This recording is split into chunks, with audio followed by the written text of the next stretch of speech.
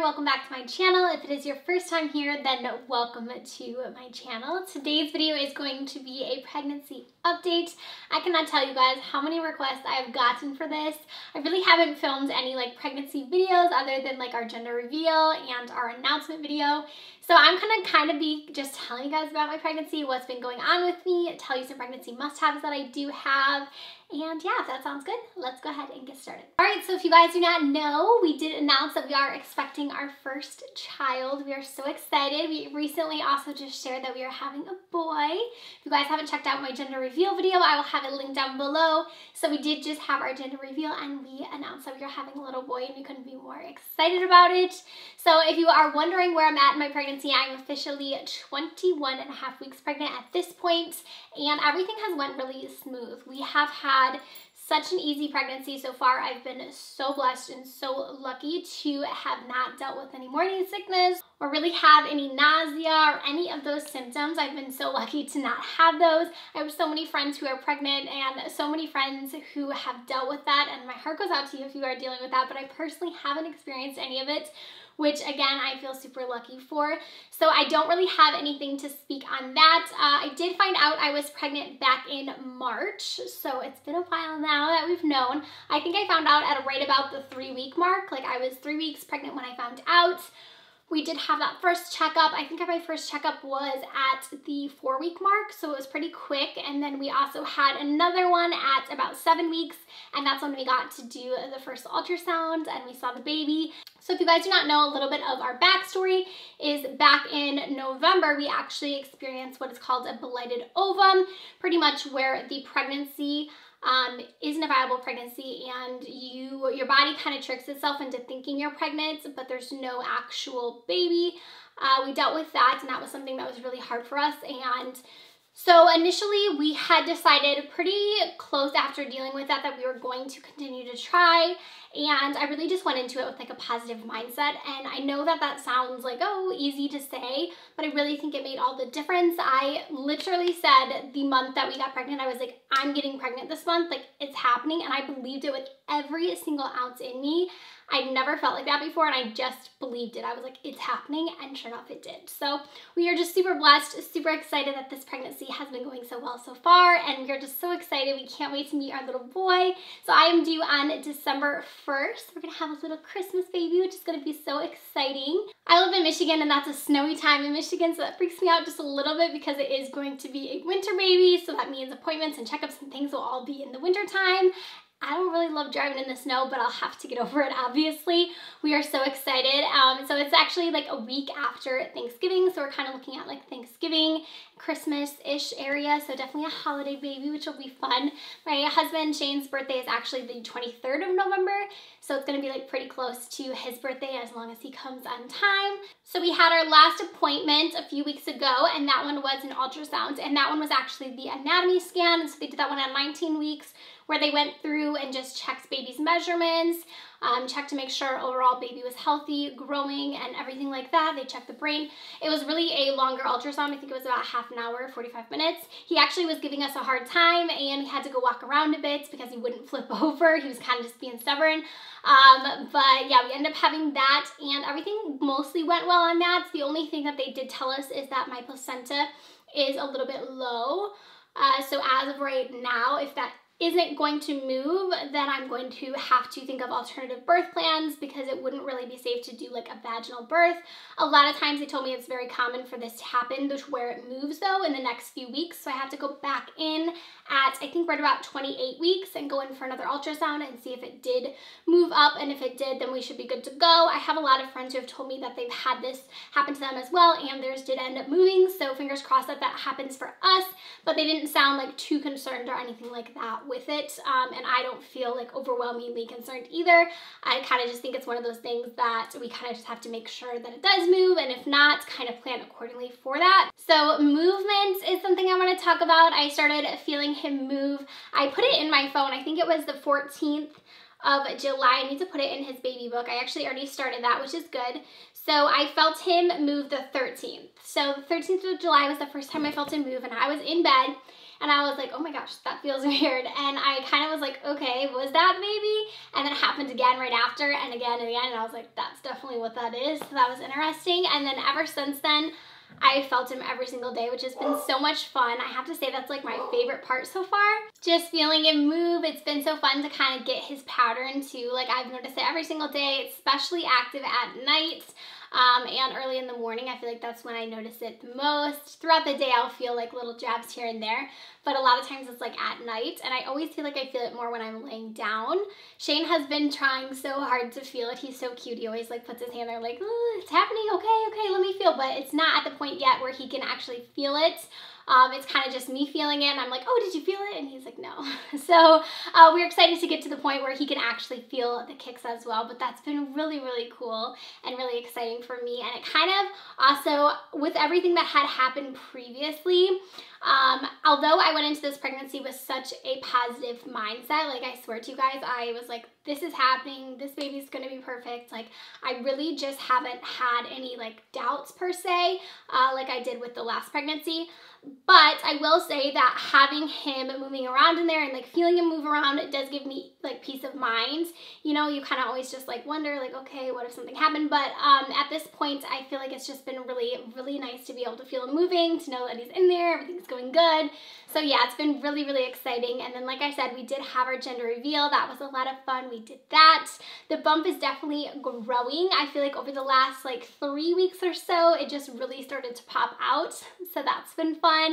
Um, I kind of was just waiting because it's kind of like one of those things where you feel pregnant you kind of look it to yourself a little bit, but you're like, can anyone else notice? And now I feel like it's really started to pop out to where people can definitely notice. And I feel like that's been fun.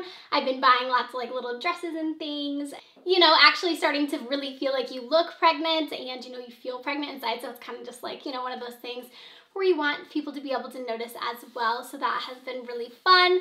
Um, a lot of you guys have been asking for a bump update. So I'll go ahead and show you guys what we have. I have a t-shirt on today, so I don't know if that's gonna be super noticeable. I should have wore something different. All right, so here is the bump update. I'm kind of tightening the t-shirt so you guys can see. I just have like leggings on. Let's go this way. Um, but it's definitely popping out, like I said, quite a lot and it's definitely starting to harden as well. It feels really hard, which is kind of interesting.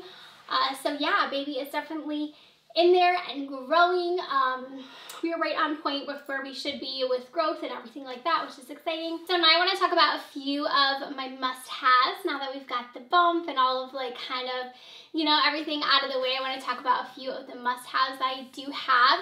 So like I said, I've had it really easy so far. I've been super lucky. So I haven't really had, you know, too many items that have been really gravitating towards or needing off the bat. I had a really easy first trimester and it's been great so far in the second.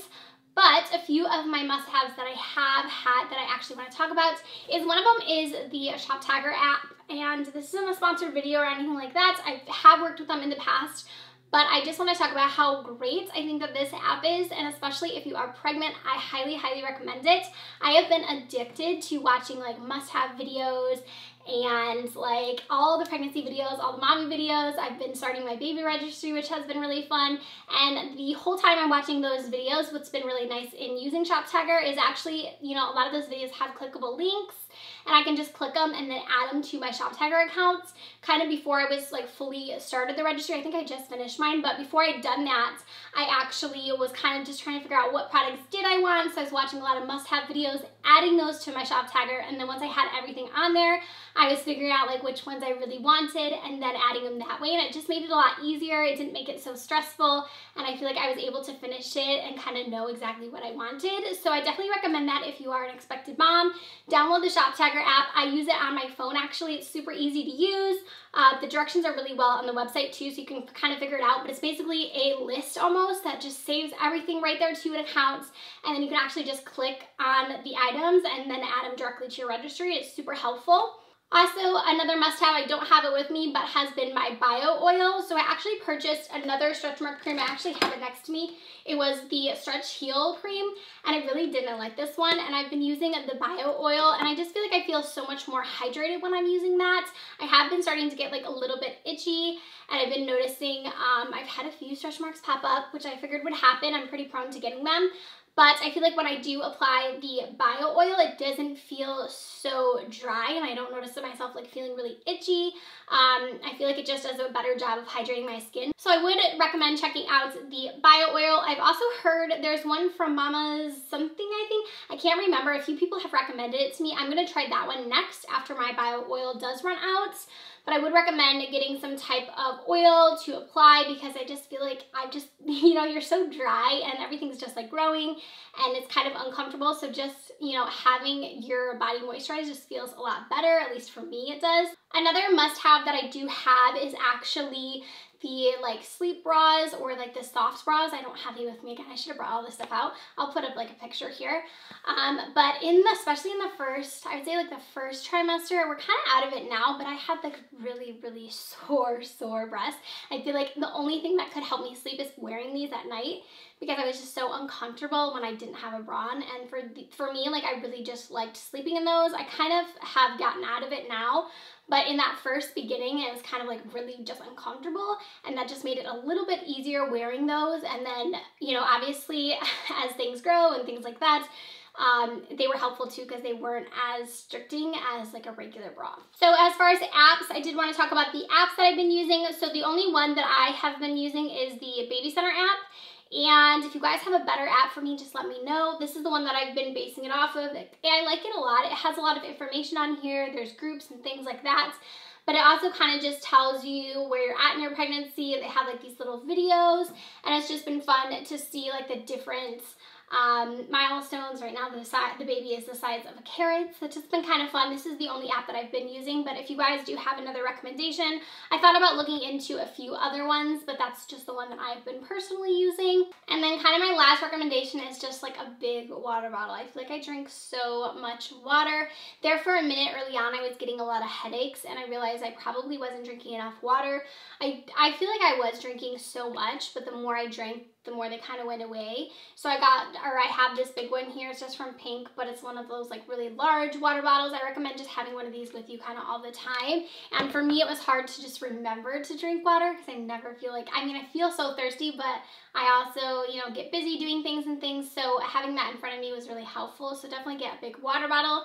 But I think that's pretty much it as far as recommendations go. And then um, as far as cravings, I really haven't had any. Uh, just really, I've just been liking fruit, wanting fruit. Uh, I haven't really had any like certain like weird craving or something I don't like that I want to have, like nothing like that. I know a lot of you guys were asking that. I'm trying to think if there was anything else that I needed to answer that you guys have been wondering. Uh, the name, we do know the name, but we will not be sharing it until he is born, so you guys will have to wait. But we've actually had our name picked out for a long time, so we are so excited to finally like know the gender and know his name. So we are super excited about that, but I won't be sharing it. I think other than that, that that's pretty much it where I'm gonna end it for this video. I know it's probably kind of all over the place. I feel like I should have been a little more organized, but hopefully you guys liked this video. I know you've been waiting and asking for this. It's been highly requested. So I hope you guys did enjoy just kind of seeing a little bit more into my pregnancy. I can't wait to take you guys along with me in this journey. Let me know any other like mommy pregnancy videos you guys want to see from me. I'm thinking about doing like maybe some hauls and things like that. So let me know down in the comment section what you would like to see and I will see you guys in my next video. Bye friends!